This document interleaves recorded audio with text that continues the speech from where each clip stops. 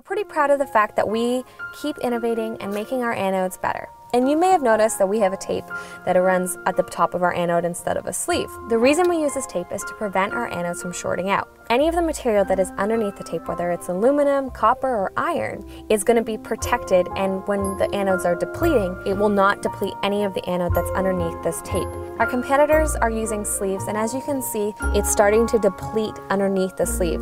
And the more the anode starts depleting underneath the sleeve, the higher chances of the anode actually shorting out and your anode's not going to be working, and then you're not going to be protected, and then you're going to have fouling, and it's just a vicious, vicious cycle. So that's the story about our Marelco MGPS anodes and the reason why we use tape instead of sleeves to cap them off.